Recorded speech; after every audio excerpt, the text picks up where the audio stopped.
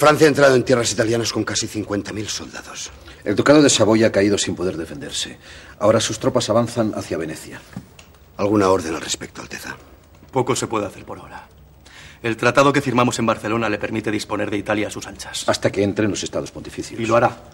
Para llegar hasta Nápoles, que es lo que pretende. Todos sabíamos que no cumpliría el acuerdo. Pero sorprende la premura. Señores, mi confianza en la palabra de Carlos de Francia siempre ha sido la misma.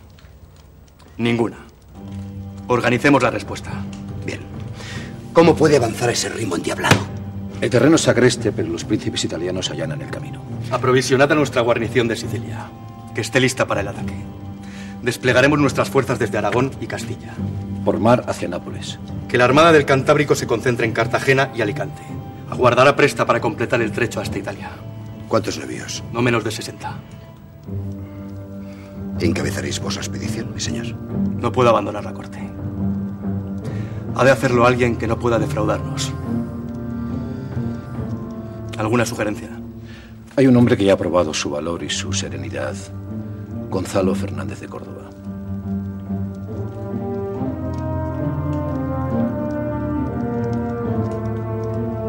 Sí. Por Venecia, que sea abierto para nosotros como una ramera. Ni en sueños habría previsto tan poca resistencia. ¿Acaso lanzaron pétalos de flores a vuestro paso? Mm, no os burléis, mi señora. Quizá este sea un pueblo sabio que admira a los reyes por su grandeza. O quizás su nobleza se venda al mejor postor. Mientras sea para mayor gloria de Francia, brindemos. No obstante, dudo que lleguemos a Nápoles sin haber perdido más que un puñado de hombres. Lo conseguiremos. No será tan grande el sacrificio como la recompensa. ¿Vais a coronaros rey del Mediterráneo? Deberíais pedirle al Papa que os conceda ese título. Quizá lo haga. Quizá lo haga.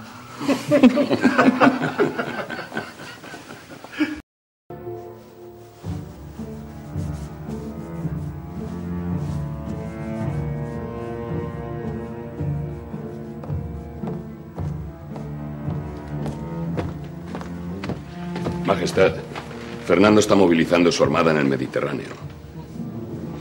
He de preocuparme con nuestras huestes en Florencia.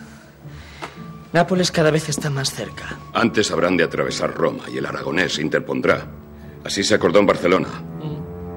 A no ser que pactemos con el Papa para que renuncie a ser defendido por Fernando. ¿Pactar? ¿Por qué? He vencido sin esfuerzo en cada estado italiano. Entonces abramos un nuevo frente que le debilite. ¿Habéis perdido el seso? Ahora proponéis que dividamos nuestras fuerzas. No exactamente. Apoyemos a Portugal en sus aspiraciones en el Atlántico. No necesito tal maniobra para vencer. ¿Y si su santidad no capitula? Si ese valenciano corrupto se resiste a ser invadido, levantaré mi espada y le depondré sin dudarlo.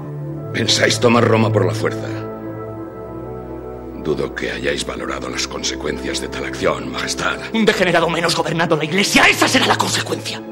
Pero ante el ataque a un pontífice, toda la cristiandad se unirá. Aragón contra nosotros, Inglaterra, Borgoña. Jamás son nuestros aliados. Lo dejarán de ser si proporcionáis tal excusa. No encontrarán otra mejor que la liberación de un papa. Pactemos, Majestad. ¿Con ese engendrador de bastardos tan viciosos como él? Yo enseñaré al Santo Padre la doctrina de la fe. A sangre y fuego.